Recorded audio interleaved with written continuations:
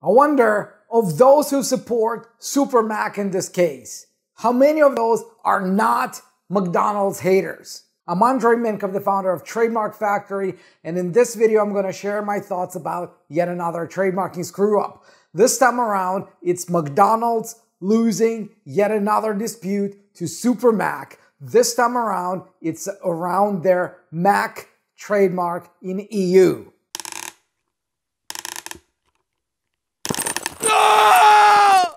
All right, let me start by reading from the article. You can always find the link in the description below.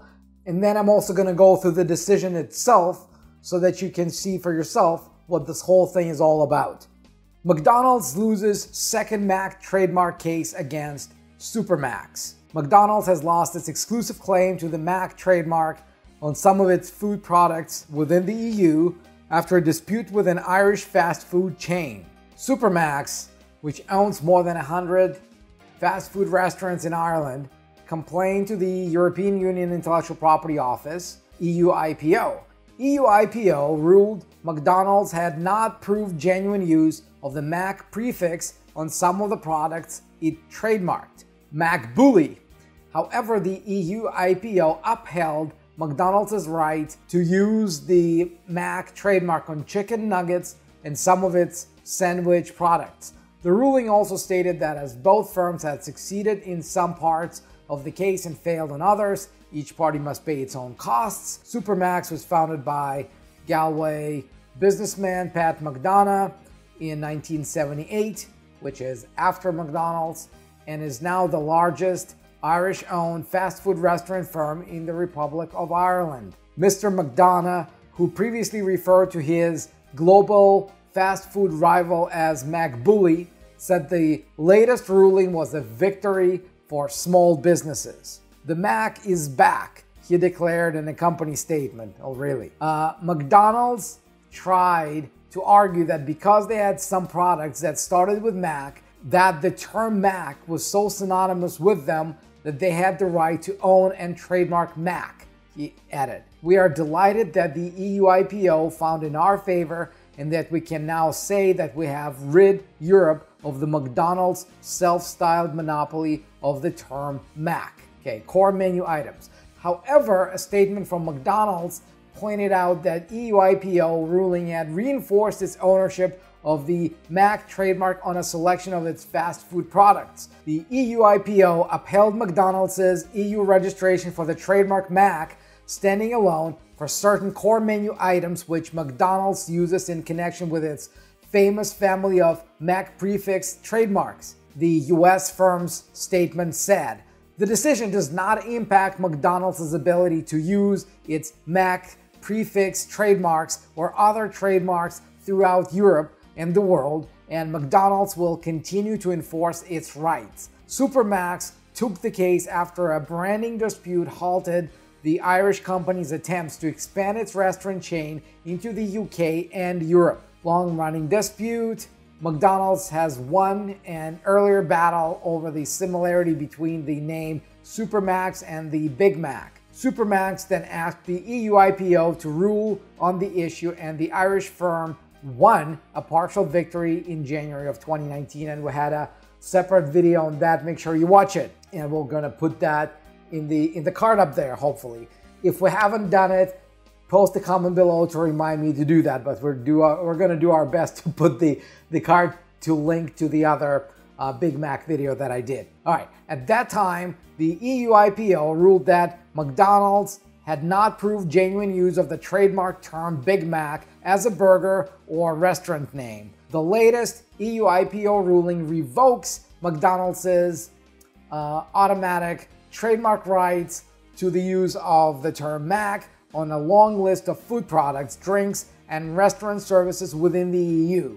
However, the EU body upheld the US firm's right to use the Mac trademark on chicken nuggets and a range of its sandwich products, including meat, fish, pork, and chicken sandwiches. McDonald's had argued that due to its long and continuous use of the Mac term, the trademark had become widely and exclusively associated with McDonald's by EU consumers, and of course it did. The US firm also pointed to several earlier decisions in favor issued by courts and trademark offices throughout Europe. But Supermac's argued that Mac was the very common prefix for surnames throughout Ireland, the United Kingdom, and elsewhere throughout the European Union. It pointed out that there were a huge number of pubs, hotels, restaurants, and food products which contain the prefix Mac as part of a surname. The Irish firm claimed that McDonald's had never used the prefix Mac in a standalone sense,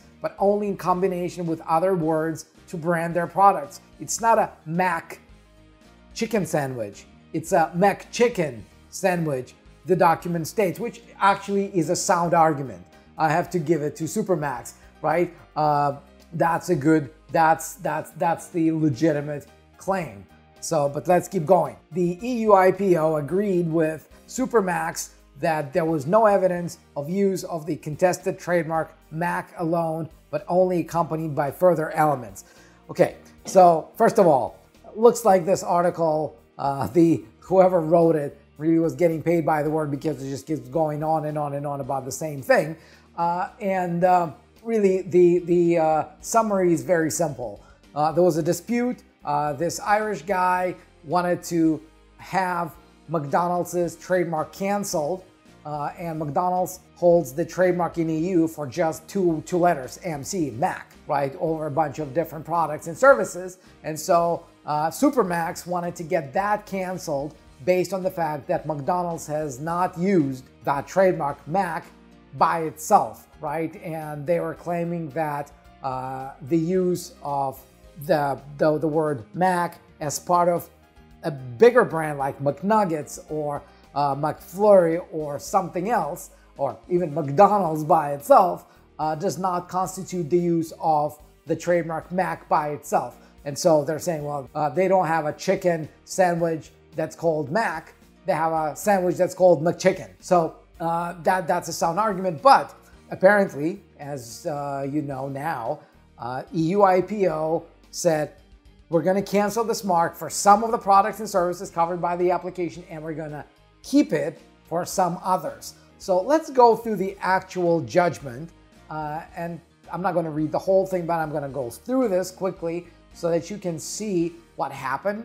And uh, that would be a good lesson in terms of how do you approach situations when you're trying to build a family of marks uh, and uh, a lot of them share the same prefix. So let's go right into it. All right, so cancellation. So Supermac's goes after McDonald's, uh, and uh, so the decision, you already know what it is, partially upheld. Uh, they went after this trademark and revoked some of the items, and uh, so they revoked foods prepared from meat and poultry products, uh, except for chicken nuggets, foods prepared from pork and fish products, preserved and cooked fruits and vegetables, eggs, cheese, milk, milk preparations, and pickles. Uh, they removed biscuits, bread, cakes, cookies, chocolate, coffee, coffee substitutes, tea, mustard, oatmeal, pastries, sauces, seasonings, sugar, and desserts. Uh, they removed non alcoholic beverages, syrups, and other preparations for making beverages, and they removed restaurant services, but they kept chicken nuggets and they kept edible sandwiches, meat sandwiches, pork sandwiches, fish sandwiches, and chicken sandwiches. Okay, and they made everyone bear their own costs, so everyone's paying their lawyers. All right, so here are the reasons. So they said, so Supermac's filed this request uh, to get it all canceled, uh, and so the applicant, which is the uh, the uh, Irish Supermac's, requests to have the contested trademark revoked with effect from five years following the date of registration. So in EU, uh, if a mark is not used for five years continuously uh, before somebody requests to cancel it, if they can't show the use uh, in the preceding five years, that trademark can be canceled. So this term, five years, uh, is pretty long. In uh, let's say in Canada and US, that term is three years, uh, but in EU it's five. and, and, and this varies from country to country. So, okay, so that's what they wanted. And the reason behind it was that the reason they want to cancel it is that it was not put to genuine use by or with the consent of the proprietor in relation to all of the goods and services covered by the registration. Right? So they say uh, that uh, in 2017, uh, McDonald's filed written observations and evidence of use. So they got 20 attachments, which will be listed and analyzed further down in the following section of the decision. So uh, McDonald's provided their arguments, they provided their evidence uh, long before they heard the outcome of the Big Mac case. So I'm sure they were overconfident. And again, gotta watch my video on the Big Mac. And uh, there you will know that McDonald's lost to a big extent because they didn't take it seriously enough. They didn't provide good enough evidence. And so, had they learned that lesson faster, I'm sure they would have filed more than 20 uh, attachments for this case, but they did what they did. So, uh, they say so uh, McDonald's paperwork provides explanations and a description of the items filed as proof of use and submits that the evidence is sufficient to demonstrate that the contested uh, trademark has been used genuinely in relation to all of the registered goods and services, with the exception of oatmeal. So the McDonald's says, you know what, we've used it for everything.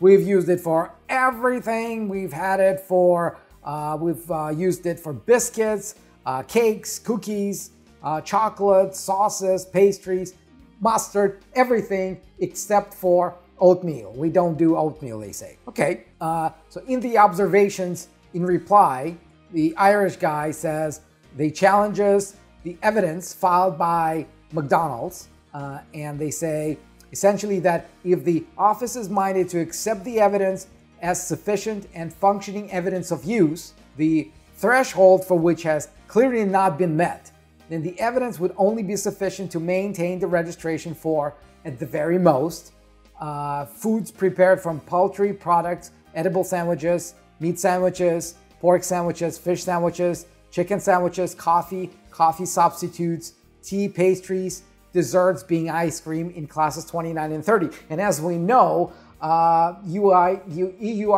actually went further than that. And then it says in its last submission, uh, McDonald's contests the applicant's claims in relation to the evidence of use and submits further explanations as to the documents previously filed. Okay, so grounds for decision. Uh, they say uh, the trademark will be canceled if within a continuous period of five years, trademark has not been put to genuine use in European unions for the goods and services for which it is registered, and there is no proper reasons for non-use. Okay, uh, genuine use of a trademark exists where the trademark is used in accordance with its essential function, which is to guarantee the identity of the origin of the goods or services for which it's registered in order to create or preserve an outlet for those goods and services. Genuine use requires actual use of the market of the registered goods and services and does not include token use for the sole purpose of preserving the rights conferred by the mark, nor use which is solely internal. Okay, this is pretty much consistent with how cancellation is treated uh, everywhere. Uh, and then they say, when assessing whether use of the trademark is genuine, regard must be had to all the facts and circumstances relevant to establishing whether commercial exploitation of the mark is real, particularly whether such use is used as warranted in the economic sector concerned to maintain or create a market share for the goods and services protected by the mark. Okay, so, and again, we're going to post the link to this decision, uh, but uh, let, let me just keep going. In revocation proceedings based on the grounds of non-use, the burden of proof lies with the trademark owner, EUTM proprietor, as the applicant cannot be expected to prove a negative fact, namely that the mark has not been used during a continuous period of five years. Therefore, it is the EUTM proprietor who must prove genuine use within the European Union or submit proper reasons for non-use that make sense. Uh, actually, in some countries, all you have to do to request cancellation is just do that. They please cancel this mark, and then you don't have to prove anything. This is the case in Canada. Uh, in US, oh, and by the way, so when you do that in Canada, the, the, the trademark owner needs to show all the evidence, and uh, the only thing that the uh, uh petitioner needs to do is provide arguments why they don't like the evidence by the uh, by the trademark owner. In the U.S., it's a lot more involved. So you can't just say, well, we're using it, now prove it that we don't. Uh, and uh, so in Canada, you, they, they can't do that, right? They have to show evidence right away. In US, they can say, nope, we're using it, we're all, we're all good. Show, show us that we're not. And then it goes back to the uh, petitioner to provide some evidence. So in EU, the, the, the, full burden is on the trademark registrant. So let's keep going. Uh, so McDonald's provided the, the evidence, and uh, so there's some confidentiality stuff. Uh, da, da, da, da, All right, so we're not going to talk about that. So here's the evidence. Here's the evidence. Three affidavits. Uh, so there's all sorts of stuff about use here, here, here, here, and there. Uh, you can go through the list of these attachments, uh, but we'll, will uh, go through what uh, EU actually said about them. So preliminary remarks. First of all, they say examination of individual pieces of evidence. They're shown above under the summary of the parties' arguments. Applicant individually assesses and challenges all of the items of evidence, uh, stating on the main that these do not indicate genuine use. Well, this is what you always do, right? Somebody shows evidence, say, no, doesn't prove anything. uh, and the applicant's argument is based on an individual assessment of each item of evidence, okay? Uh, even if some relevant factors are lacking in some items of evidence, the combination of all relevant factors is okay. Uh, so used by a third party. Uh, the applicant further contends that the affidavits are not made by any employee of the registrant, uh, exactly the uh, arguments they made in the Big Mac case. Uh, since no evidence setting out the link between the proprietor and the executors of those documents have been supplied, they can be construed uh, as evidence that proves used by or with the proprietor's consent. So this is very procedural, uh, procedural, and uh, it's it's very important when you go to the dispute. It's not just about who's right and who's wrong. It's also about who knows the rules of evidence better, who knows the rules of procedure better, because you can be right 100%. Uh, but if you don't follow the rules of procedure, you may lose a totally winnable case. That happens all the time. So uh, this argument of the applicant cannot succeed either. Uh, first, it's recalled that when an EU proprietor submits evidence of use by third party, there's an implicit indication that it consented to the use. All right, so basically say, no, we're going to accept this evidence, don't worry about it. Uh, and then translation of the evidence, applicant further contends that part of the evidence is not accompanied by a translation to the language of the proceedings and should be disregarded. Uh, and uh, with particular reference, survey further argues that the deadline for filing the translation is now passed. So they're trying to remove evidence, exclude evidence. Uh, and uh, it's clarified that uh, trademark owner is not under any obligation to translate the proof of use unless it is specifically requested to do so by the office. Uh, and uh, so they say uh, in the present case, proprietor included in its submissions a summary in English of the relevant parts of the document. Therefore, the applicant had information about the content of the evidence filed. So they say, we're going to accept that. Okay. Uh, accept now. This is the important stuff. Assessment of genuine use of the factors, time and place of use. So they say, okay, the evidence must show genuine use of the contested mark within the relevant period. So going back from the time when the Irish uh, Supermac's filed their request for cancellation, going back five years. So it's not about when they registered it, it's about and it's also not about when the uh, EU IPO is hearing the case. So the relevant period is somebody files the request to cancel their mark and then they go back five years and the trademark owner must show evidence of use within that period. So they say part of the evidence is dated with the relevant time frame as detailed above. Uh, however, there is no, and, and, and, and some of it, some documents, it's true that the applicant contends some documents bear handwritten indication of the year. However, there is no reason for the cancellation division to doubt the accuracy of that indication since in most instances, the noting in manuscript is backed up by time information included in the document itself, such as, for example, a copyright notice in the respective year. So again, uh, the, the lawyers for the Irish company is doing everything right. They're attacking, attacking, attacking, attacking. If they can exclude evidence, uh, even if the evidence doesn't prove anything, uh, they want it out. They want to uh, on the procedure, and that's exactly what they're doing. Uh, that's exactly how they succeeded in the Big Mac case. So, and uh, then they're going. Uh, so some of the documents are outside the relevant period, but the images of products relate to the relevant goods on the internet. Print out, screenshot, provide information regarding the type of goods or proprietor manufacturing. Okay, cannot be ignored. So basically, what they're saying is, all right, some of this evidence may point to uh, things that occurred outside of this period, but it's still relevant. Okay, so they they didn't exclude that. So extent of use, that's the important one. Concerning the extent of use, it's settled case law that account must be taken, in particular, in the, of the commercial volume of the overall use as well as the length of the period during which the mark was used and the frequency of use. Okay. Furthermore, will be recalled that the assessment of genuine use entails a degree of interdependence between the factors taken into account.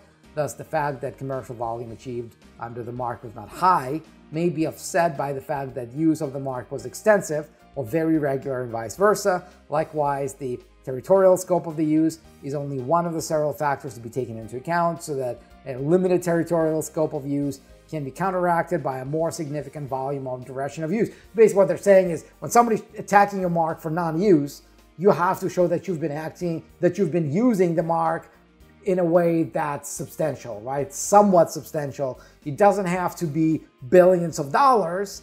Uh, it doesn't even have to be millions of dollars, but you have to use and you have to sell and uh, you have to sell in a way that would be regarded as genuine use that goes beyond just you trying to show that, well, we're, we're using the trademark, let us keep the trademark. So use of the mark need not be quantitatively significant for it to be deemed genuine, right? So in addition, under certain circumstances, even circumstantial evidence, despite not providing direct information of the quantity of goods actually sold, can be sufficient by themselves to prove an extent of use in an overall assessment. What they're trying to say is it's not a very high threshold to prove to keep the mark. So from the outset, they note that McDonald's did not submit any invoices, but relied instead on three affidavits that provide information on uh, the net turnover of McDonald's, the advertising expenditure for McDonald's goods and services, and the number of products sold in Germany, France, and the UK, respectively, under the sign Big Mac and under a number of Mac prefixed signs, namely McRib, McMuffin, McToast, McFish, McWrap, McNuggets, McChicken, and McFlurry. All right. Uh, and further provides extracts from two annual reports giving the revenue in Europe. Uh, and basically, they're just showing that uh, uh it was more general than uh, than specific. And again, that's probably uh, the the evidence that McDonald's is very unhappy that they filed in both the Big Mac case and in this case because they didn't take it seriously enough. They thought, well, we're McDonald's, everybody knows McDonald's. Uh, I mean, what else do we need to show? Let's just show them general numbers. Let's just show them uh, how much money we spend on the ads. Let's just show them uh, how many uh, happy clients uh, eat our uh, products. And any reasonable person would confirm that we get to keep the mark. Well, not so fast. And so they say, right, final outcome depends on the overall assessment of the evidence, particular case, blah, blah, blah, blah, blah. Uh, must be observed from the outset the market in question is for the production and sale of fast food items that are intended for normal everyday use and for the provision of fast food restaurant services. Well known that such market is often characterized by relatively high demand and by the sale of high number of goods to the public at large. Therefore, the provision of traditional sales evidence, such as paper invoices, is not necessarily functional when it comes to trade held in the relevant market served. Okay, so uh, so they keep keep explaining which which is relevant, which is not so relevant, and um, they're just pretty much explaining the standard uh, they're using to come up with with uh, with their decision. Right? An overall assessment of the evidence, cancellation decision deems that the documents, albeit not particularly extensive, demonstrate a certain scale of use of Big Mac and the Mac prefixed signs listed in the affidavits during the relevant period, which allows for the conclusion that the extent of use was not merely token. However, this applies only in relation to some of the goods and services for which the contested trademark is registered. as will be explained in detail in the following section of the decision nature of use, subsection use, blah, blah, blah. Okay.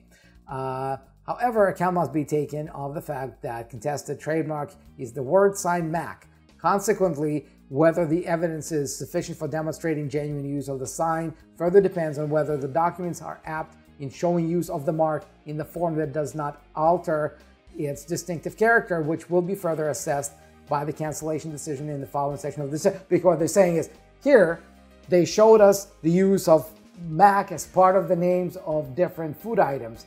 But have they really showed us the use of the word Mac by itself? So let's see. So for the sake of completeness, it's noted that in addition to the signs mentioned in the three affidavits, so namely McDonald's, Big Mac, McRib, McNuff, McMuffin, McToast, McFish, McWrap, McNuggets, McChicken, and McFlurry. Proprietor submissions include references to seven other Mac prefix signs as follows. Uh, Mac croissant, claimed to have been used in relation to a croissant, including ham and eggs or chocolate. Mac morning, uh, for breakfast products. What else? Mac baguette, for uh, baguette sandwich. Uh, Mac currywurst, uh, for sausages. Mac menu, for a combination meal. Mac Cafe uh, for restaurant services. And uh, is there anything else? Mm, okay, and they also had Mac Sundae and Mac B.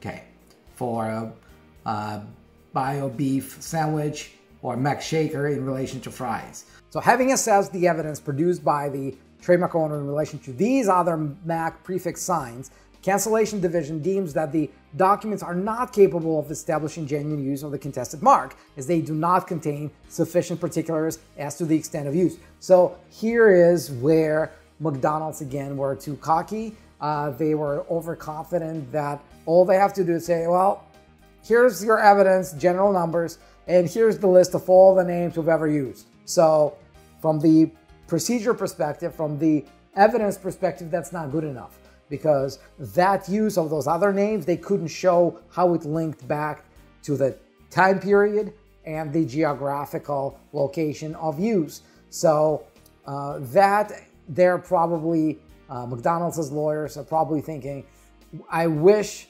we showed them more. And I'm sure they have genuine numbers. I'm sure they have genuine documents uh, that will show some use of at least some of these terms, but they didn't present them for the hearing, and that's the problem.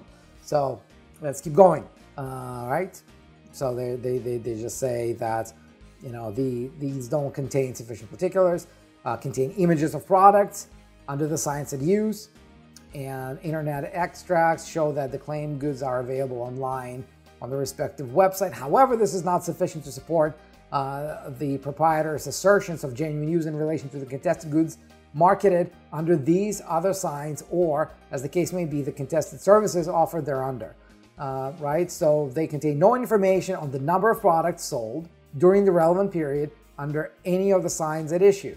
Uh, the only quantitative data of the cancellation decision was able to retrieve from the evidence concerns the sign Mac Cafe, and more specifically that in France, there are 187 Mac Cafe uh, within McDonald's restaurants. However, in the absence of further corroborating evidence and complementary information as to the actual use of the internet sites by potential and relevant consumers, uh, in particular that orders for the relevant goods have been made through the website by a certain number of customers in the relevant period, are complementary advertising and sales figures regarding the goods, the documents in these annexes are not in themselves apt to prove that the goods were actually put on sale in the relevant territory and to what extent. So there, right?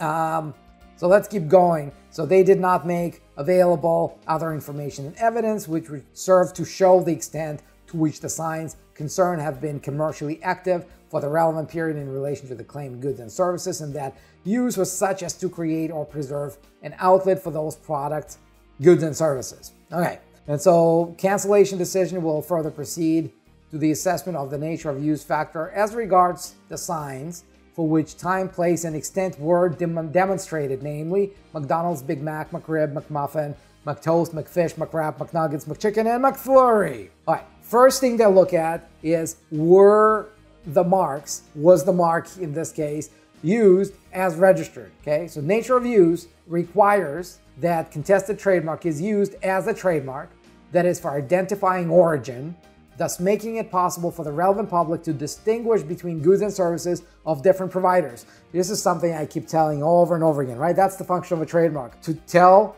to allow the market to tell your products and services from identical products and services of everyone else. So if your brand allows you to do that, that's a proper function of a trademark, that's a proper function of a brand. This is what you can protect and enforce against everyone else. So Irish Supermac, right, the applicant, went to great length to criticize the evidence on the grounds that it does not show use of the trademark as a trademark and that the use of the sign was in a form which alters its distinctive character. Its main arguments can be summarized as follows. The contested trademark was not, nor has it ever been used as a trademark to designate the goods and services of the proprietor. It was filed as a defensive mark to prevent third parties from using trademarks encompassing the MAC term for the goods and services of the registration or for similar goods and services, right? Second, MAC is a very common prefix for surnames throughout Ireland, UK, and elsewhere uh, in European Union. Use of the trademark MAC prefix with additional words and elements, which is the only evidence provided by the proprietor, does not guarantee origin. Uh, there are a huge number of public houses, hotels, food items, beverages, and restaurants which contain the prefix MAC as part of the surname.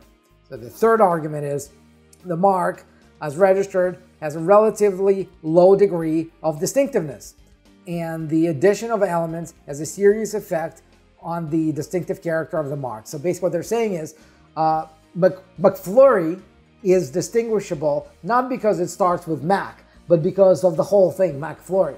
Same with McNuggets, same with Big, same with McDonald's, same with pretty much everything that McDonald's has starting with Mac. So what Supermac is saying is that to the extent that these names are distinguishable and distinctive and uh, trademarkable, it's not because they started with Mac, it's because of the whole thing. And then they say proprietor does not and has never used Mac in and of itself. The additions of the terms included are not separate and distinct from the combination with a Mac element. It's not a Mac chicken sandwich, it's a McChicken sandwich, right? It's not a Mac rib sandwich. Uh, it's a McRib sandwich, right? So the Mac element is never used separately. It's very clear that the proprietor has a marketing strategy of using a specific prefix just opposed uh, with additional elements, and is only using its marked as new, coined, juxtaposed marks to create a new brand in line with a claimed Mac family of trademarks. In turn, McDonald's essentially puts forward that the mark Mac has been used as a prefix of the mark McDonald's, and moreover, of numerous product designations consisting of the prefix Mac in combination with a further element describing the nature or characteristic of their respective product. Two, the term Mac is used to identify menu items and other goods and services prepared, sold, or rendered by McDonald's. And three, due to McDonald's long and continuous use of the Mac term, this, this term has become widely and exclusively associated with McDonald's by consumers throughout the European Union, as demonstrated by surveys in, uh, in, in, their evidence. And four, uh, findings in the said surveys provide that um, uh, prove that a very high level of distinctiveness of the designation MAC have already been confirmed by numerous decisions issued by courts and trademark offices throughout Europe. So what McDonald's is saying is that we may not necessarily use this separately from the product, but the public recognizes that when food items start with Mac, they probably come from McDonald's. All right, so that's their argument, and it's a good argument. So, cancellation division agrees with uh, the uh, Supermac uh, lawyers that there's no evidence of use of the contested trademark alone, but only accompanied by further elements. Therefore, the question to be answered is whether the addition of these other verbal elements alters the distinctiveness of the contested trademark or not. Right, so they got uh, this table Right? So you got Mac and then McDonald's and Big Mac, McRib, and all that stuff. It cannot be deemed that the use of the sign McDonald's, so this is one, right? McDonald's, uh, constitutes use of the contested mark Mac in a form which does not alter the distinctive character of the mark as registered, since the two signs appear essentially different. So Mac and McDonald's are different. Well, duh. Uh, the additional element Donald's is not descriptive, devoid of distinctive character, or weak for the services at issue. Moreover, it's not visually less standing than the element Mac, so that it can be construed that the difference between the registered and used form is a negligible element. It is true that there is no legal precept in the European Union trademark system that obliges the proprietor to provide evidence of the earlier mark alone when genuine use is required, and that two or more trademarks may be used together in an autonomous way or with the company name without altering the distinctive character of the earlier registered trademark. Uh, however, this is not the case for the present proceedings. It's clear from the evidence that Donald's is not an independent mark or sign which would refer to instance of the company mark, the manufacturer, uh, and so on. Furthermore, it's recalled that it's upon the proprietor of the mark to provide evidence of the additional sign is in fact an independent mark or sign which the latter failed to do. In the light of the foregoing, the use of the sign McDonald's cannot be regarded as an acceptable variation of the contested trademark. So here's what they're saying. They say sometimes you could have a trademark inside another trademark, and they can both be treated as separate marks and protected as separate marks. But in order for that to happen, it's not enough for you to just protect one part of it. It has to be both, right? Or the other side, the other half of it must not be distinctive enough so that the dominant element is the mark you're trying to prove. So in this case, they said, okay, we're looking at McDonald's, right? You never used Mac by itself. You're saying McDonald's is evidence that we're using the word Mac. And they say, well, are you ever using Donald's by itself? No. So you're using McDonald's, right? Yes. And if you're using McDonald's, then you're not using Mac trademark plus Donald's, right? So for example, when uh, you think of Microsoft Windows, right? They have Microsoft trademark, they have Windows trademark, and they have Microsoft Windows trademark, or Microsoft Office, or Microsoft this or that uh, Microsoft could prove, well, we're using Microsoft separately and we're using Windows separately, and they all refer to a product or a service. So McDonald's couldn't say that, well, we're using Mac and we're using Donald's, right? Uh, and they couldn't say that the dominant part of the McDonald's trademark is Mac, right? They couldn't say, well, could be Mac anything, right? Uh, because what people really recognize is Mac. No, in case of McDonald's, people recognize McDonald's. So that was the defining by EU IPO, which is uh, something I agree with. And then they go uh, to just pretty much, you know, say the same thing, you know, McDonald's, McDonald's restaurants, blah, blah, blah. Okay.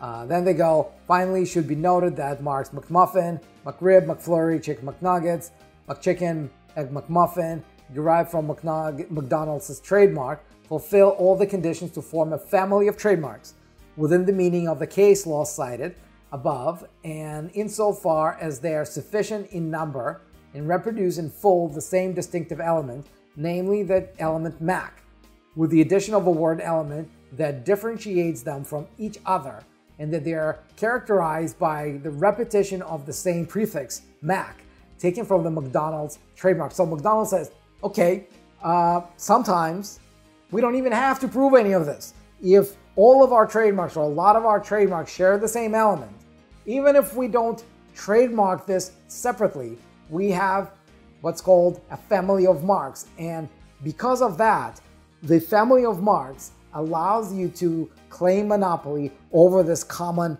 element. And so McDonald's says, well, we just went one step further. Instead of relying on the family of marks, we said, why don't we also register this as a separate trademark? Which is, again, not necessarily the wrong thing to do, but it's hard to prove use as McDonald's, uh, McDonald's example shows us right now. So let's keep going. Uh, So they say, as the Board of Appeal correctly observed, uh, the contested decision, McDonald's is trademark with a reputation with fast food restaurant services, is the original trademark of the family to which all of the derived marks are connected by a common feature, namely the prefix Mac, and from which they are all separated by the same type of final element, which refers to one of the foodstuffs of the menu of the interveners fast food restaurants, as is pointed out in contested decision. Right. This the existence of a family of marks and the use of the registered trademark in a form which does not alter the distinctive character are, however, two different issues. A family of marks is an additional factor relating to the assessment of the likelihood of confusion, uh, or as the case may be, the existence of a link uh, of, of, a link under Article 8.5.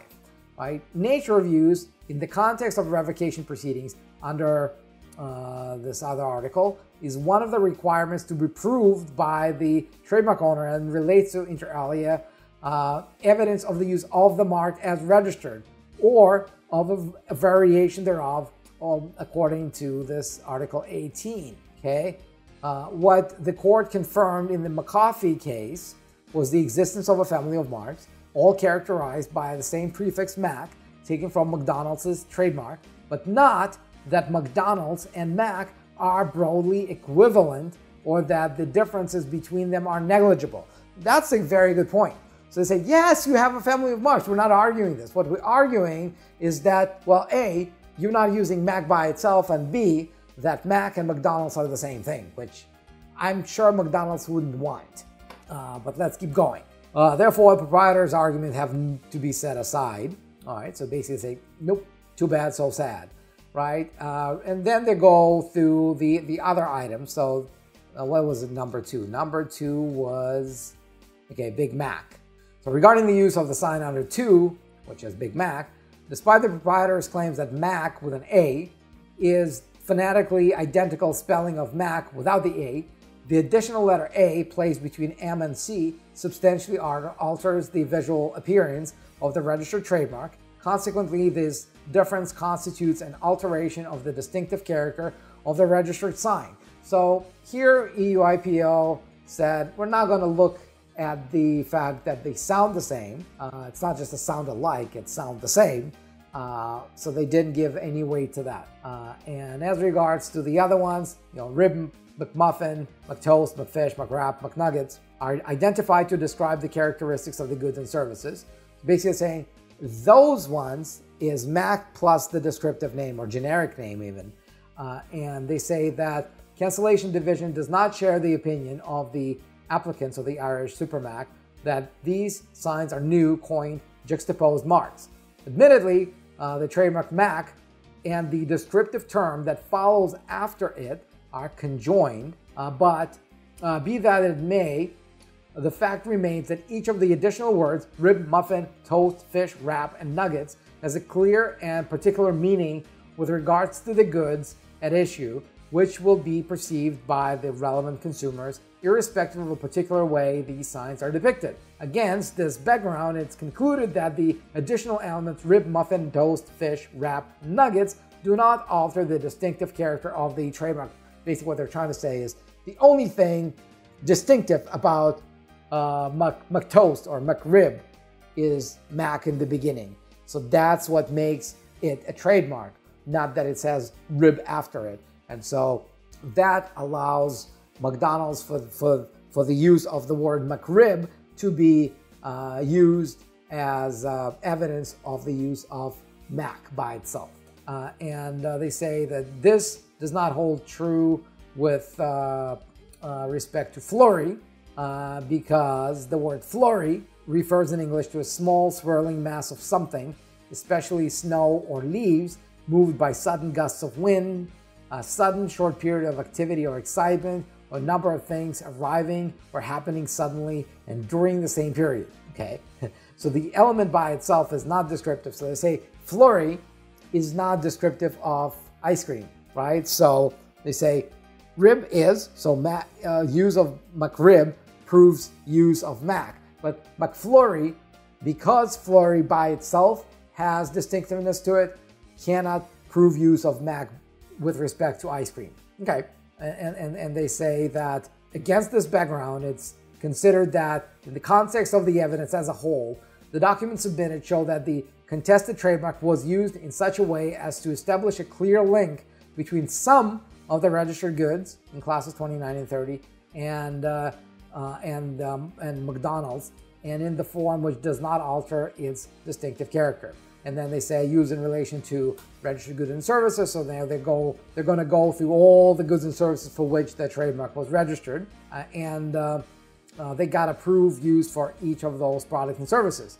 Uh, and uh, so they they list them, and they say uh, where the grounds for revocation for only some of the goods and services for which the contested mark is registered the proprietor's rights will be revoked for those goods and services only. And so they go through, you know, through uh, what McDonald's showed and show the you know, chicken nuggets, uh, McRib, McFish, McMcWrap, all of that, and registered goods in class 30, which is sandwiches, uh, and uh, they say registered goods in class 32. So they did not submit evidence for registered good in this class, have been put on market as advertised under uh, contested trademark, right? So that mark is canceled. Uh, and here in class 43, uh, again, they say, well, you didn't show uh, that Mac or McDonald's McCafe. So they, they refused McCafe because the evidence was insufficient. McDonald's, they said, does not prove use of Mac. A Mac menu, again, was bad evidence. And so they killed the, the trademark in class 43 for restaurant services.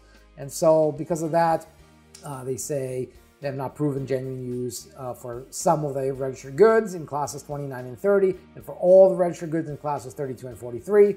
And so that it's revoked. And uh, because it proved some use, that is to stay. Uh, and uh, that's that's really what the decision is. Yeah. So really, as as my comment to this, there's there, there are a few lessons here. The first lesson is EU continues to prove that they hate super successful American companies and that they're not going to give them any leeway uh, and recognize their greatness uh, just because they're great uh, if they uh, don't uh, have the ability to win the case on the merits, they're probably going to lose. The second very important lesson here is that when it comes to disputes, Evidence and rules of procedure are probably even more important than you being right. Uh, and uh, you can win the case by highlighting some of the evidentiary flaws. You can win the case by highlighting some deficiencies in procedure. And if you do that, that's all you need to do. So McDonald's were cocky, were overconfident uh, that uh, their marks would be recognized. They didn't bother to provide good evidence with respect to the use for each of the names, and they paid a price for that. Uh, and uh, the third lesson, the third lesson is when you're at the point when you've developed a family of marks, when again, you have so many brands that all share the same element. Yes, you can rely on the family of marks, and yes, you can uh, try to file a trademark for just the element alone, even if you're not using the element by itself and you may actually enjoy the trademark rights in it by itself. So, uh, how bad is this for McDonald's? Not really. I mean, uh, they still have the family of marks that they can enforce against other restaurants that would try to uh, sell products under a name that starts with Mac. They can still do that, right? They don't necessarily need a registered Mac trademark for that uh, because their family of marks was recognized. Uh, there's case law, there's precedent. They can still do that. They actually still have uh, their rights in a registered trademark for Mac for the sandwiches and, and the nuggets. So if somebody is doing that, they can still use the registration to go after them, uh, but have the value of their brand portfolio, uh, you know, ha- has it sustain some damage? Yeah, maybe a little bit. Uh, but more, more than anything, uh, it's the reputation of their legal team that sustained the big loss because really McDonald's should not be losing trademark disputes like that. Uh, they should not have lost the Big Mac case, and they should not have lost this case, at least to the full extent, right? Uh, they, they, they said, well, we're not, we'll never use it for oatmeal and we probably never will. Uh, so they, they, they admitted that that could be let go, but they, they should have preserved more items on that trademark than they actually did. And that's the lesson. You could be big, you could be, uh, you have very deep pockets, but you have to prepare for all litigation as if your life depends on it. And uh, that's that's the that's the lesson that McDonald's learned the hard way. Now I hope you found this video useful. I hope you found it interesting. And uh, again, you know, some of my videos are shorter, some of them are long like this one. And I know that you know some people tune out when it's a long video uh, because all they want is the summary and the comment, and we have plenty of those. And some of these videos I see some people really uh, get a kick out of because they actually get to see what goes into the trademarking process or trademark dispute process. So this is one of those longer videos that I hope uh, you learn something from. Uh, if uh, you like this video or if you like the whole subject of brands and trademarks, subscribe now and get notified whenever the next one goes live, which is what the bell button is for. And if you've got a brand that you want to protect, whether it's in Europe, whether it's in North America, whether it's anywhere. So go to trademarkfactory.com and book your call with our strategy advisors. The call is free, and during the call, you'll gain clarity on whether you need a trademark. You'll understand how the process works if, if, if you need that clarified. And also, you'll know whether Trademark Factory is the right fit for you. So do that right now. And if nothing else, I'll see you in the next video.